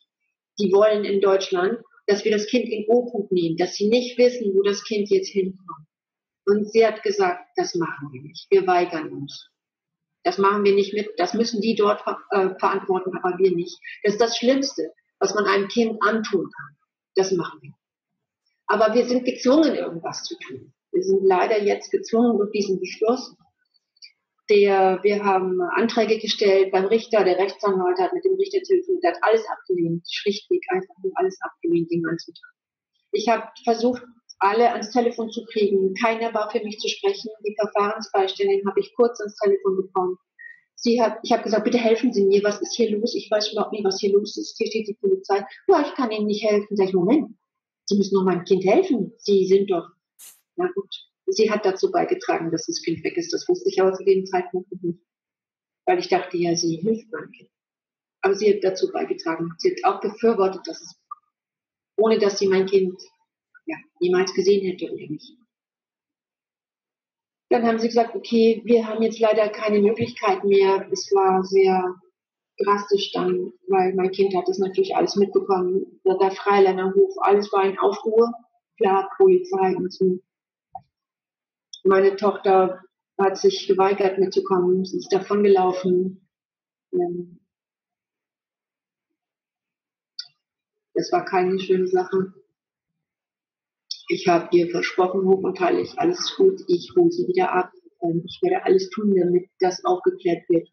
Sie kann mir vertrauen das wird alles nicht so bleiben. Nur ich habe gesagt, okay, bitte geh jetzt mit, weil sonst ja, werden sie dich hier abschleppen und dir vielleicht wehtun, das möchte ich nicht. Und sie hätten auch Gewalt angewandt. Also der Richter hat es angeordnet. Der Richter hat angeordnet, wenn sie sich weigert oder wenn ich mich weigere, muss Gewalt angewandt werden. Das wollte ich natürlich meinem Kind nicht antun. Die haben das so abgemeldet, dass sie in eine Pflegefamilie gekommen ist und ich durfte jeden Tag hinfahren, wir durften uns jeden Tag sehen, Stunden. Ich durfte mit ihr spielen. Es war dort sehr schön. Ich, ich hab, durfte auch mit der Frau sprechen. Sie durfte mich jederzeit anrufen. Okay für sie. Ich habe gesagt, okay, Mama, mache ich. Zwei Tage später kommt plötzlich die Aufforderung, ja, Frau Fischer, wir haben ja jetzt gehört, Sie haben sich gut geführt. Ich habe mich gut gefühlt in Bezug darauf, ich hätte mich wohl verhalten, dass ich nicht dagegen gearbeitet habe, so konstruktiv war. Und deswegen würden sie mir gestatten, dass ich mit meinem Kind nach Deutschland fahre. Da sage ich, okay, das heißt, ich bekomme mein Kind und dann ist gut, oder wie? Ja, nur unter der Prämisse, wenn Sie sich am 3.7. bei uns melden, unbedingt mit dem Kind und dann am, auf jeden Fall am 13.7. Dann habe ich Rücksprache gehalten mit dem Rechtsanwalt. Der Rechtsanwalt hat gesagt, nur unter einer Prämisse, dass ich schriftlich bekomme, dass wenn ich nach Deutschland komme, mein Kind nicht weggenommen wird. Sonst sollte ich nicht fahren. Das habe ich gesagt zu der Frau Volpert. Die Frau Volpert hat mir das schriftlich gegeben, dass das Kind bis zum 13.07. nicht weggenommen wird. Dann bin ich gefahren. Sie haben mir das Kind gegeben, haben mich zum Bahnhof gebracht. Ich bin nach Hause gefahren, bin am 3.07. dort erschienen vor dem Jugendamt mit meinem Kind. Dort haben sie schon das Kind zum ersten Mal von mir getrennt und ich sage, was passiert jetzt hier? Ja, wir wollen nur mit dem Kind sprechen, das kriegen sie gleich wieder. Wir wollen mit ihnen sprechen und die anderen sprechen mit meinem Kind. Sage ich, okay. War auch gruselig, meine Tochter wollte natürlich nicht, sie war natürlich verängstigt. Das war eine Masse von Leuten, die da plötzlich vor uns stand. Ich kannte die Menschen alle nicht. Ich weiß nicht, wie viele da waren, mindestens fünf, sechs. Und sie hatte natürlich Angst und nur weil ich gesagt habe, du kannst mitgehen, ist alles okay, ist sie mitgegangen. Und sie hat sich gefürchtet, sie hat sich natürlich versteckt.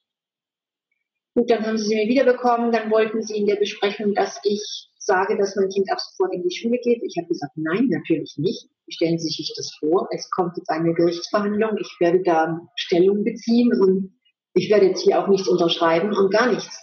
Nein, natürlich nicht. Dafür ist hier die Gerichtsverhandlung da. Das muss erstmal alles geklärt werden. Das hat ihnen nicht gepasst. Dann sind wir, haben sie mein Kind wiedergegeben, dann sind wir nach Hause gegangen, 13.07. Gerichtstermin. Mein Kind wurde in der Zwischenzeit, bekam ich noch eine, eine neue Anordnung des Gerichts. Mein Kind sollte 15 Minuten vor der Verhandlung angehört werden mit dem Richter und der Verfahrensrecht. Vorher hat äh, drei Tage vor dem Gerichtstermin hat diese Verfahrensbeiständin ganz kurz mein Kind mal getroffen für 45 Minuten. Dann hat sie wohl einen ebenso schlechten Bericht ans Gericht geschrieben, den ich auch erst vor Gericht gehört habe. Und mich ganz kurz mal am Telefon gesprochen. Sonst nicht. Mit dem Vater hat sie mehr, sich mehrmals getroffen, hat viereinhalb Seiten über ihn Positives geschrieben, über mich eine, eineinhalb Seiten nur Schlechtes. Dann sind wir dorthin gegangen. Meine Tochter wollte nicht. Sie hat sich gewehrt mit Händen und Füßen. Sie hat geweint, geschrien. Sie hat gesagt, Mama, wir dürfen dort nicht hingehen. Das ist nicht gut für uns. Das ist überhaupt nicht gut. Ich habe ihr gesagt, keine Angst haben. Ich bin da. Ich stehe auch da. 15 Minuten sprichst du nur mit dem Richter und dann hole ich dich dann wieder ab. Kein Problem. Der Richter, der weiß das besser als alle anderen. Deswegen ist er Richter. Habe ich mein Kind noch erzählt. Aber sie war steif und fest davon, äh, war auch nicht abzubringen und hat gesagt, das kann, das ist nicht gut. Na gut, dachte, ich bin im Recht und kann dort sprechen. Dann gehen wir dahin. Sie geht rein. Ich gehe in den Wartebereich zurück. 15 Minuten später werde ich geholt. Es sind eine Menge von Menschen da, wo ich mich schon wundere, wo ich sage, was ist denn hier los? Ich finde es komisch. Ich kenne doch die Leute alle gar nicht. Das ist nicht öffentlich. Was sind das für Menschen? Warum ist hier so ein Menschenauflauf? Ja, keine Ahnung. Gut, da habe ich gesagt, alles gut, dann warte ich hier. Dann sind die Menschen alle weg. Dann werde ich gerufen. Keiner ist mehr zu sehen. Und dann denke ich, wo sind die jetzt irgendwie alle? Ich verstehe überhaupt nichts. Das finde ich jetzt komisch. Alles komisch. Ich verstehe gar nicht, warum jetzt keiner mehr da ist. Auch keiner, der bei mir ist oder das was ich dann denke, ja, okay, ich gehe jetzt mal rein, ich mache die Tür auf und dann suche ich meine Tochter. Ja, und dann habe ich die geklettet und sagt natürlich als erstes, ja, wo ist denn mein Kind? Keine Antwort.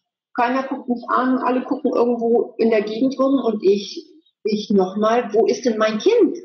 Hallo? Keine Antwort, keine Rede mit mir. Der Richter kramt irgendwo in seinen Sachen. Dann bin ich ein bisschen lauter geworden und habe gesagt, kann mir mal jemand sagen, wo meine Tochter ist? Ja, ganz logisch, ganz klar. dann fängt der Richter mit mir an zu sprechen und sagt, die ist jetzt nicht da. Und sage ich, ja, das sehe ich auch, aber wo ist die denn? Ich weiß nicht, ob ich an der Stelle weitersprechen soll oder ob es dir schon reicht. Sprich bitte weiter. Okay. Dann sage ich, ja, wieso ist die nicht hier? Ja, die ist in einem anderen Raum. Dann sage ich, ja, und wieso ist die in einem anderen Raum? Ich verstehe das alles nicht. Wo ist sie denn? Ja, die ist jetzt im anderen Raum. Sag ich, ja, und wieso ist die in einem anderen Raum? Können Sie mir bitte mal sagen, was hier los ist? Und ähm, dann hat mein Anwalt, der wusste anscheinend schon, der hat es schon kapiert, ich immer noch nicht. Das ist irgendwie wie so eine Schranke natürlich. Du verstehst erstmal gar nicht, was los ist. Dann hat er gesagt, äh, ich muss mich hinsetzen, sonst kriege ich nicht raus, was hier los ist und so. Das werde ich wahrscheinlich gleich abgeführt, wie es aussieht wenn ich jetzt meinen Mund nicht halten würde. Ich sage, ja, aber wieso? Ich weiß gar nicht, um was es geht hier. Hallo? Ich will einfach zu meinem Kind. Und dann hat er gesagt, nee, wir werden es nicht erfahren, wenn Sie, wenn Sie den Richter nicht sprechen lassen. Also. Und dann hat er kurz erzählt, wie die, dass er mit dem Kind gesprochen hat und dass das Kind total ängstlich gewesen wäre und aber nichts gesagt hätte und das hätte dann den Eindruck so und so gemacht, dass es einfach ähm, ein komisches, eigenartiges Kind war, wie alle gesagt haben, und dann, das war's dann. Mehr hat er nicht gesagt. Sag ja. Und dann kam das Jugendamt, sollte dann zu Wort kommen, und dann habe ich, ja, dann kam der Moment, wo ich endlich verstanden habe zum ersten Mal, was hier abgelaufen ist. Denn wir haben eine, ich weiß nicht wie lange Liste von Vorwürfen gegen mich vorgebracht, Und das letzte war, äh, sie müssten das Kind vor mir schützen, weil ich das Leben meines Kindes auf YouTube ausbreiten will. Also mein Kind war nie zu sehen in irgendwelchen Videos. Ich habe einfach nur gesprochen, wie das toll funktioniert. Und deswegen müssten sie natürlich auch das Kind von mir fernhalten. Und es sollte drei Monate in die Kinderpsychiatrie eingewiesen werden. Und dann bin ich natürlich, dann war es mir klar, in dem Moment bin ich aufgesprungen. Ich bin, ich ganz logisch, ne? ich sag, was haben Sie gemacht? Und dann war mir klar, dann habe ich nur gesagt, das war eine Falle hier. Ich habe das nur gesagt, das war ja auch Fakt. Sie haben mir eine Falle gestellt. Und dann springt der Richter auf und sagt, und ich wusste ja schon, dass Sie sich aufführen, Frau Fischer, das haben wir uns schon gedacht. Und Sie sind ja psychisch gestört, das kann ich jetzt erkennen. Und deswegen dürfen Sie sich jetzt nicht von Ihrer Tochter verabschieden und deswegen ist sie auch schon weg.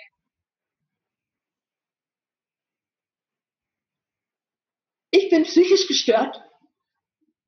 Was läuft hier ab? Geht's noch? Ja, das wusste ich schon, dass sie sich so aufhören und deswegen dürfen sie sich auch nicht verabschieden. Weg. Das war jetzt 2017 im. Ja, 13. Okay, und seitdem ist deine Tochter eben, wo lebt die jetzt? In einem Kinderheim. Okay.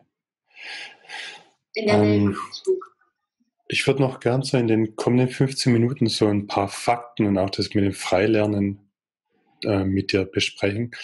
Also erstmal, wurde bei deiner Tochter diagnostiziert, dass sie autistisch ist? Nein. Nein.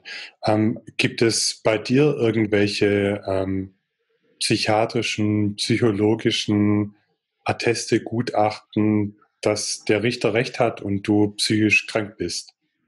Nein, das Gegenteil habe ich. Ja. Ich habe ärztliche Diagnosen, die das Gegenteil behaupten. Okay.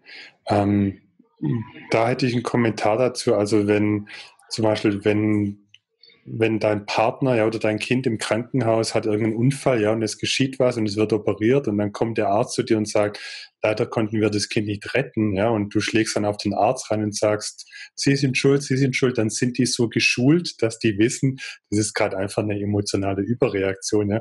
Da sagt keiner, sie sind verrückt, ich schicke sie jetzt in die Psychiatrie. Also, dass da ein Familienrichter dann sagt, du seist verrückt, ja, weil du in dem Moment, wo du dir klar wird, man hat dir deine Tochter weggenommen, emotional äh, zusammenbrichst oder ausrastet, da hat der Familienrichter keine Ahnung, ja, da ist er nicht geschult worden.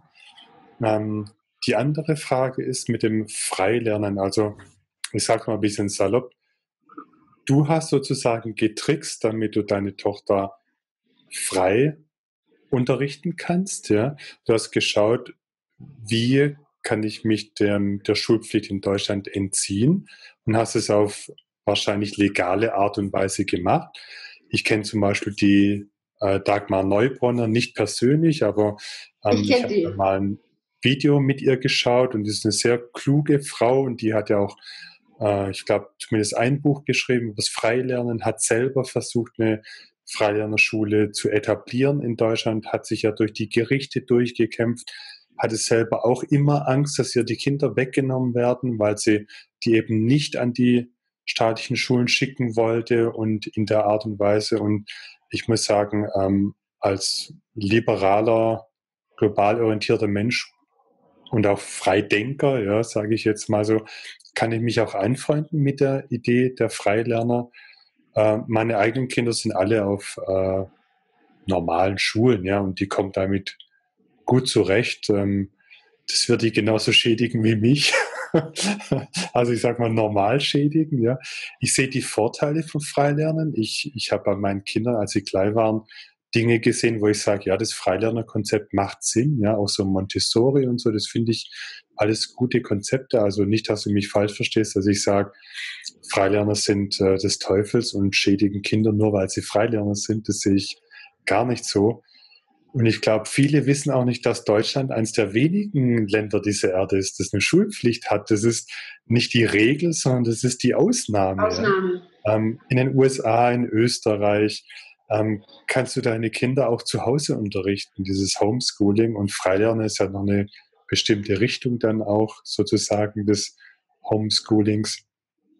Und da ähm, scheint es ja so zu sein, dass halt deine Ansichten die du vielleicht auch, habe ich den Eindruck, ein bisschen zu sehr den Menschen vielleicht aufgedrängt hast. Ja, wenn du 30 Seiten an eine Behörde schreibst, ich denke, da war auch viel übers Freilernen drin, ja, warum das von Vorteil ist. Da hätten vielleicht zwei Sätze gereicht, ja. Ich teile Ihnen hiermit mit, dass ich in Deutschland nicht mehr angemeldet bin und nicht gemäß Paragraph so und so Meldegesetz äh, meine Tochter deshalb nicht der Schulpflicht zuzuführen habe. Ja, sowas hätte auch gereicht. Okay, ähm, ja, aber wahrscheinlich waren die da von deinem Mitteilungsbedürfnis, deiner Überzeugung und du hast ja auch Online-Videos übers Freilernen gemacht, hast da positive Reaktionen bekommen und warst da auch wahrscheinlich beseelt davon und fandest es einfach gut, weil du gemerkt hast, es tut deinem Kind gut und wolltest da, dass es dann auch anderen quasi gut geht und andere äh, auch darüber lernen und davon hören, auch die Schuldirektorin, ja, die dann ähm, so vehement darauf bestanden hat, auf der Schulpflicht. Du hast gedacht, die ist eine Pädagogin, die muss sich doch auch für pädagogische Konzepte interessieren. Ja, Nein, hat sie nicht, ja. Sie äh, ist im deutschen System der Schulpflicht natürlich treu ergeben als Schuldirektorin, muss sie einfach sein. Und äh, da sind halt dann Welten aufeinander geprallt, weil das Jugendamt hat halt seine Vorschriften, hat äh, diesen zu folgen und die Schulpflicht ist in Deutschland ein derart heiliges Gut, ja, das sieht man ja als Errungenschaft, dass jedes Kind ein Recht auf Bildung hat, äh, dass das Ganze auch Nachteile hat, äh, die ja die Freilerner klar benennen. Ich glaube, da könnt, können wir jetzt nicht so tief einsteigen. Ich glaube, es genügt, wenn ich sage, dass ich mit der Idee sympathisiere und mich auch damit beschäftige, jetzt von meinen eigenen Kindern nicht sagen würde, das ist das einzig Gute für die. Ähm, aber ich kann verstehen, dass jemand das machen will. Ja? Und äh, wie ist es denn jetzt? Also wie geht es deiner Tochter? Ähm, was ist die Situation? Und siehst du, dass ihr die Situation, dass es ihr besser geht, seit sie nicht bei dir ist? Oder geht es ihr schlechter? Oder hast du überhaupt keine Ahnung? Hast du überhaupt Umgang mit ihr? Siehst du sie überhaupt? Was ist die jetzige Situation? Jetzt habe ich sie acht Monate nicht mehr gesehen und gesprochen. Ich habe Verbot gehabt. Umgangskontakt. Umgangskontaktverbot, auch Sprechverbot per Telefon. Hm. Und es besteht nach wie vor? Ja. Also du darfst auch keinen Umgang mit ihr haben? Nein. Okay, und wann endet dieses Umgangsverbot? Das stellt sich noch raus. Ich habe jetzt einen Antrag gestellt auf eine genaue Anhörung, damit das endlich mal auch per Gerichtsbeschluss festgelegt wird, wann und wie oft ich mein Kind sehen darf, weil ja in den letzten zweieinhalb Jahren es dauernd so war, dass die Ergänzungspädagogen und das Heim einfach das machen konnten, wie sie wollten. Nach Gutdünken. Es ist doch so, dass die Gefahr ist ja gebannt. Deine Tochter ist ja in der Schule. Und es hat sich gezeigt, dass du, also es hat sich doch erwiesen, dass du auch nicht psychisch krank bist. Ja, also Sie haben ja dann ein Gutachten über mich erstellt. Nach Aktenlage bin ich psychisch gestört und erziehungsunfähig. Von einer Psychiaterin und von einem Psychologen, die mich nicht kennen. Gutachter, die nicht mit dir gesprochen haben, hm. sondern nur auf Basis dessen. Ich habe das Gutachten verweigert. Hm. Und da steht drin, hat es mit dem deiner Freilehrer, Freilerner an sich zu tun oder worauf stützen sich denn Ihre Erkenntnisse oder Einschätzungen?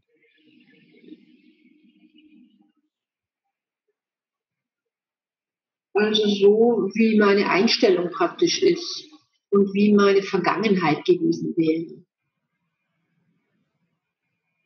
Also gar nichts Konkretes. Also da ist nichts Greifbares. Sie behaupten einfach, ähm, der Vater wäre viel besser für das Kind, weil der für die Schule ist. Deswegen haben sie ihn ja auch ins Blut geholt. Hm.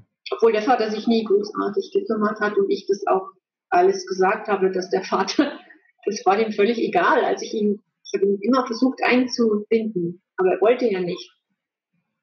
Ich wollte, dass er Verantwortung übernimmt oder auch mit ihm sprechen über Schule und wie er das sieht und hin und her. Das, das gehören ja nur irgendwie zwei dazu, meiner Meinung nach. Aber wenn er halt sich verweigert, was soll ich denn da machen? Dann mache ich es halt so, wie ich es für richtig halte. Und plötzlich hat er angefangen zu sagen, das Kind muss in die Schule, das kann nicht lesen, rechnen, schreiben, das könnte das nicht, das könnte das nicht, das verhält sich komisch. Da stimmt irgendwas nicht mit dem Kind. Und dann war natürlich ein Befürworter der Schule und dann war er der bessere Elternteil. Ganz automatisch. Obwohl er obdachlos ist, keine Arbeit hat, seit Jahren keine Wohnung hat. Und jetzt wird darauf basierend sozusagen wird jetzt gesagt vom Gericht, okay, das Kind ist jetzt eh schon entwöhnt von der Mutter. Sie spricht auch nicht über die Mutter, wenn man sie fragt. Sie traut sich ja auch nicht zu sprechen, das ist ganz logisch.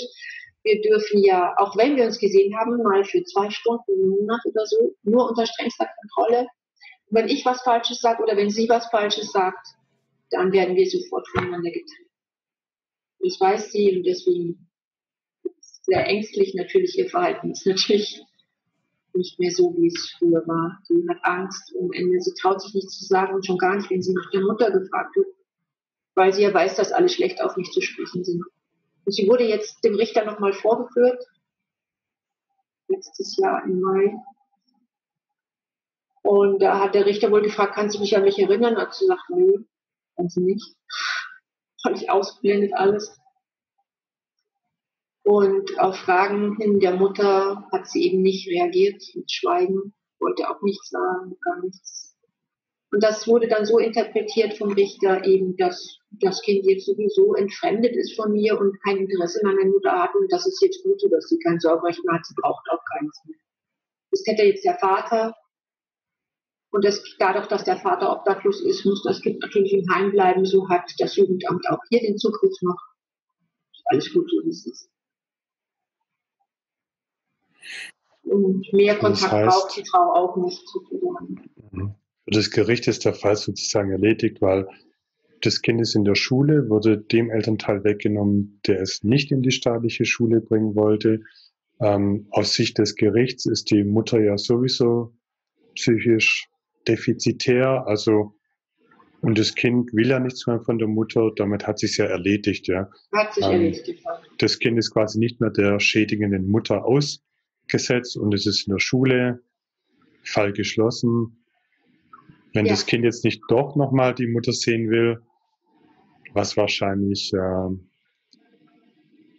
eher eine geringe Wahrscheinlichkeit hat, weil das, das Heim ja ähm, du kannst ja nicht telefonieren, du hast gar keinen Kontakt. Ähm, äh, wir wissen ja nicht, was im Heim der Tochter erzählt wurde. Ja. Ähm, das können ja die typischen Entfremdungstaktiken sein, ja, wie es auch Elternteile anwenden, damit sie die Kinder bei sich behalten nach einer Scheidung oder Trennung. Ja, genau. Sie waren also darauf aus, also das alles hat gar nicht gestimmt, was Sie mir gesagt haben. Ich habe ja meinen YouTube-Kanal dann geschlossen und ich habe gar nichts mehr gemacht. Ich habe meine Öffentlichkeitsarbeit eingestellt. Ich habe alles getan, was Sie wollten. Aber heute weiß ich, das war ja Blödsinn. Also hm. Sie wollten sie mir sowieso nicht mehr geben.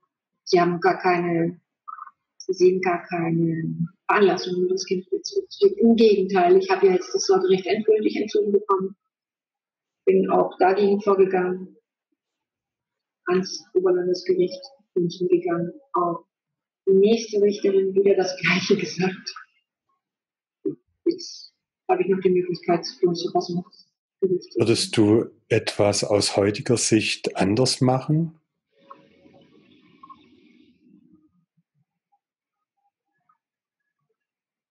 In Bezug auf was? Genau. Hättest du verhindert, dass deine Tochter in Obhut genommen wird? Wie hättest du es verhindert? Ja, ich war anscheinend naiv in Bezug auf unseren Rechtsstaat, kann ich nicht anders sagen. Ich habe gedacht, ich hätte Rechte. Und jetzt weiß ich ja gar nichts. Ich weiß nicht, bis heute hat mich keiner angehört. Keiner hat mich angehört. Drei, nur drei Verhandlungen, ich wurde nicht gehört alles wird unterbunden. Ja, du, du meinst, also du würdest schon wahrscheinlich im rechtlichen Sinne wurde dein Anspruch auf rechtliches Gehör gewahrt. Du hast dich äußern können, aber keinen hat der Inhalt interessiert von dem, was du gesagt hast. Nee, ich sage zwei Sätze und dann sagt der Richter, das brauchen wir jetzt nicht hier. Was Sie da erzählen, hm. ist Vergangenheit, das brauchen wir jetzt nicht. Und du warst da mit Anwalt drin, als der Richter das gesagt hat. Ja. Ja, da hätte der Anwalt eigentlich darauf bestehen können, dass du weiterreden darfst.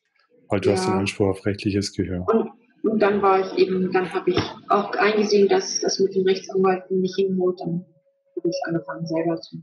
Hm.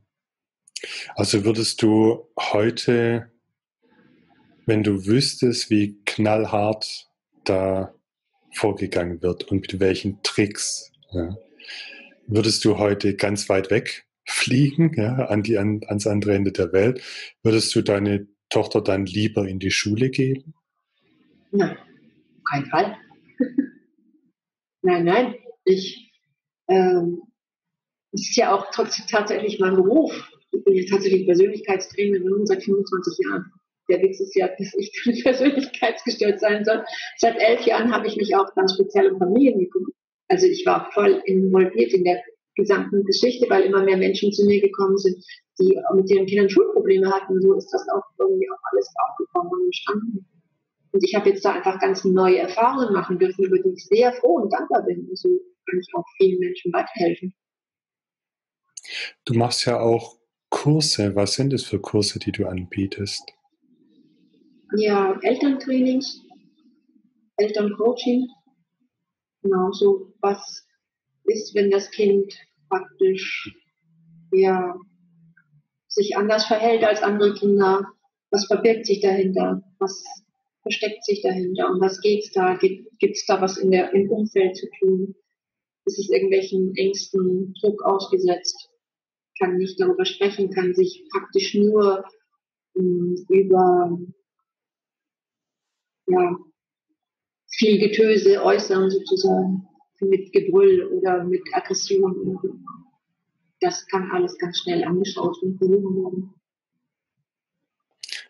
Was ich da sehe, ist, dass du als Mutter heute im Nachhinein sagst, deine Tochter hat Autismus. Ja. Dir ist es gar nicht so aufgefallen, ja, weil für dich ähm, sozusagen was, wo ein Richter sagt, ja, das Kind ist ein seltsames Kind, ja, da sagst du, ja, das ist einfach so, wie es ist und nimmst es so an und ja. kannst deshalb auch als Persönlichkeitstrainer auch mit Kindern gut arbeiten, weil in Anführungsstrichen seltsame Kinder von dir angenommen werden, wie sie sind. Das ist dann auch wahrscheinlich Teil deiner Freilernerphilosophie und Lebenssicht. Und da bist du dann halt knallhart, sage ich mal, gegen die Wand gefahren, was ähm, Ansichten von Jugendämtern und Familienrichtern angeht, die halt erstmal rechtlich gegeben sind. Schulpflicht ist Schulpflicht für die. Und dann haben die euch ja auch sozusagen nicht von der Leine gelassen. Ja? Die haben dann alles gemacht, dass das in ihren Augen Richtige geschieht, nämlich dass das Kind in die Schule geht in Deutschland. Ja, und ich habe natürlich nicht damit gerechnet, dass das eine einzige Intrige war. Da kommt der, der mal denkende Mensch da eigentlich nicht drauf. Ne? Also ich habe dem ganzen System vertraut. Das war wohl ein Fehler. Ja. ja, du hast gedacht, dass das System so tolerant ist und sich für deine Ansichten interessiert und denkt, naja, gut, die Mutter weiß ja vielleicht, was für das Kind gut ist. Ja, nein, die hat eine andere Vorstellung, was für das Kind gut ist. Ach so, ja, da fällt mir noch ein, was wir noch gesagt haben, war, ähm, mir, haben, mir wurde vorgeworfen, ich wäre zu eng mit dem Kind. Zu eng. Das wäre nicht gut für das Kind. Wir sind zu nah. Ja, das ist eine immer häufiger kommende Pseudodiagnose, dass die, vor allem die Mutter-Kind-Beziehung zu eng sei und äh, dass dann Kinder in Obhut genommen werden. Deshalb ist natürlich dann das andere, weil damit schädigt man das Kind ja, selbst wenn diese Beziehung zu eng ist, ja noch viel mehr. Man müsste ja dann eigentlich halt der Mutter oder dem Kind äh, beibringen, das Kind auch zur Autonomie zu erziehen, falls es denn Jesus sei. Ja? Die Inobhutnahme ist ja da das falsche Mittel dafür. Ja, also ich würde nichts anderes machen. Und ähm, ich habe vorhin gehört, dass du gesagt hast, ich hätte getrickst und so. Ich habe nicht getrickst. Wo hätte ich getrickst? Mhm. Ich habe einfach nur das gemacht, was ich für mein Kind das Beste hielt. Das ist mein gutes Recht, das steht sogar im Gesetz geschrieben. Ich habe mein Kind beschützt. Ich habe alles getan. Es hat immer nichts gefehlt, im Gegenteil. Und ich habe gesehen, wie prächtig sie sich entwickelt hat und wie traurig es ist, jetzt ist, dass sie ihre Hochbegabung nicht leben darf. Hm. Mit äh, getrickst, das war salopp ausgedrückt. Die Dagmar Neubronner sagt in diesem Video, das ich angeschaut habe, dass die halt auch nach Wegen gesucht hat, wie sie in Deutschland ihre Kinder aus der Schulpflicht so raushalten kann, dass sie die als Freilerner schulen kann zu Hause oder halt in der Schule, so. die sie aufgebaut hat, ja. Mhm. Und äh, da hat sie quasi auch geschaut, wie kann ich in dem System da mir diesen Freiraum als Freilerner bauen, mhm. ja. Und hat halt gesehen, wie schwer und auch extrem risikoreich das ist, wie man ja an dir sehen kann.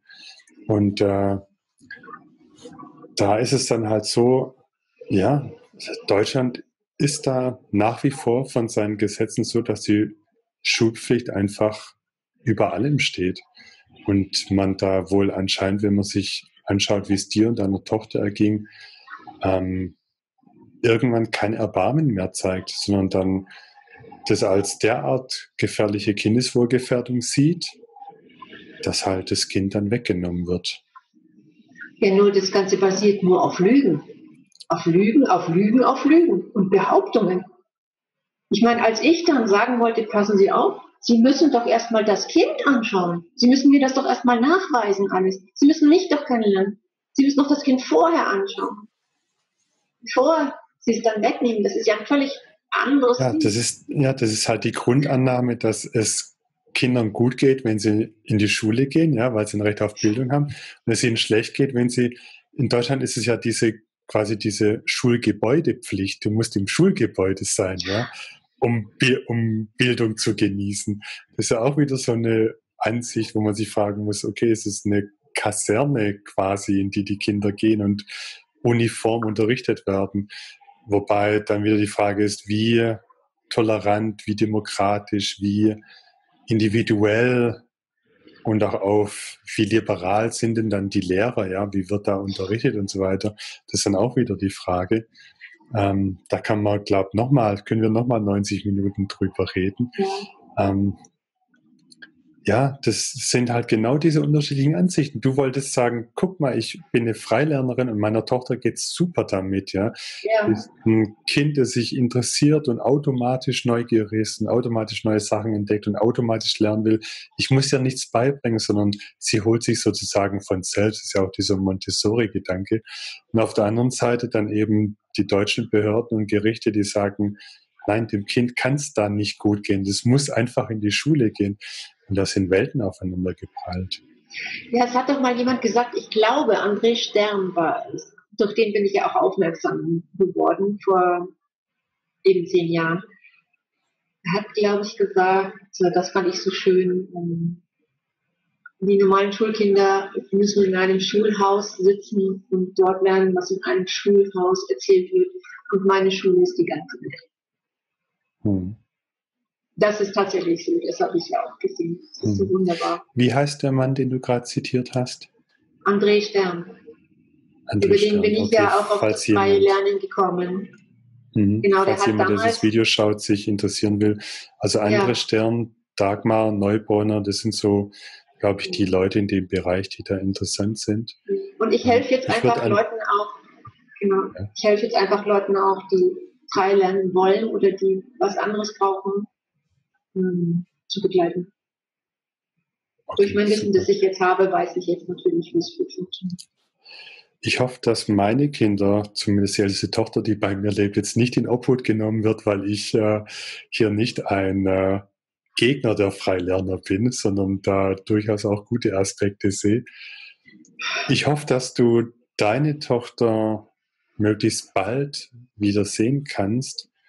Ähm, ich glaube, wir haben heute erlebt, dass vor uns eine Mutter sitzt, die sich gut ausdrücken kann, normal ausdrücken kann, vielleicht ein bisschen extensiv erzählt, weil das ist ihr Fall. Ja, ich kann das verstehen. Man hat dieses Trauma erlebt, man möchte es mitteilen, möchte anderen erzählen, was da passiert, vielleicht auch, damit sie selber, ja, Adlerauge sei wachsam, wenn da irgendwas vom Jugendamt kommt, sich dann zehnmal fragen, ob sie hingehen, ob sie da fragen und vielleicht auch nicht, wie du selber gesagt hast, so naiv da hingehen und denken, dass diese Leute von den Behörden an ihr aufklären und zuhören.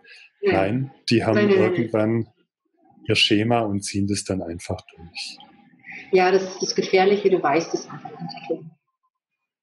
Das ist das Gefährlichste. Das habe ich auch schon von vielen anderen die sagen das Gleiche. Hätte ich bloß gewusst, dann hätte ich anders. Genau. Es fängt meistens da an, wo man das Jugendamt um Hilfe bittet. Ja, glaube ich auch schon.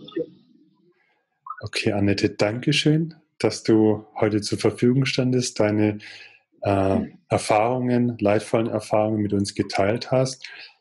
Du scheinst auch daraus für dich ähm, Positives ziehen zu können, ja, dass du weitergibst an andere Menschen, auch hier an uns im Video. Dafür herzlichen Dank an dich danke auch, dass du mich eingeladen hast und dass du das machst. danke. Schön. Annette, danke und ciao. Tschüss.